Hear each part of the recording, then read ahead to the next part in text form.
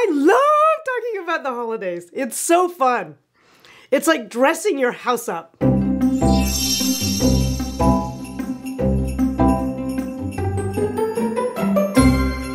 This is our first holiday season together, and it's gonna be one of many. And so, from here until Black Friday, the Friday after Thanksgiving, we're gonna be doing Christmas give backs. So, you wanna be sure and watch, and I'll tell you how you can win all this cool, groovy stuff.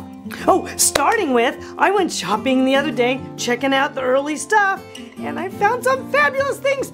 And this week, we're gonna give away some gorgeous Christmas ornaments. Wait till you see. Crate and Barrel! Who knew?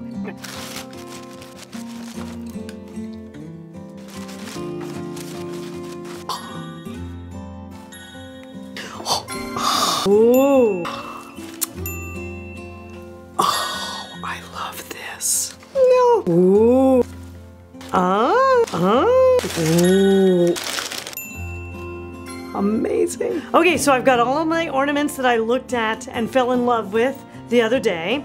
And what I'm gonna do is break them out into style statements. And then each one of those style statements gets given to one of you guys. So let me just start with traditional. So these three were ones I picked for traditional tree. Note the red and green statement, of course, and then the little bear, which is very traditional.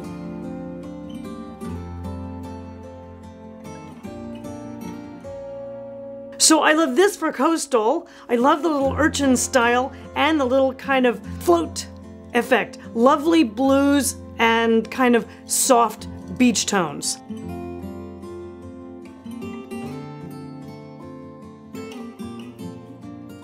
So here's a lovely little contemporary selection. I love the matte of the white against the sheen of this silky iridescent blue. Beautiful.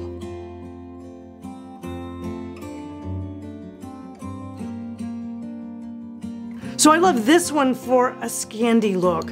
I love this soft pink, the little pine cone, and then the polar bear on the silver globe. These are beautiful.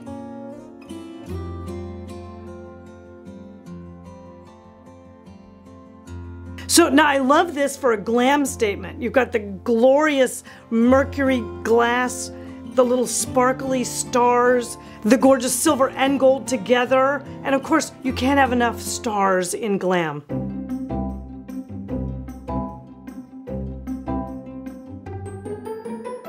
So here's four design statements in ornaments. And if you guys are interested in winning any of the gifts that I'm gonna be giving away from now until Black Friday, what you wanna do is go to lisaholtdesign.com and make sure you get onto our email list. And from there, we're gonna select the winners and the ornaments are just the beginning. So be sure and watch these videos and make sure and tune in next week because we have more giveaways coming and I'll see you guys next week.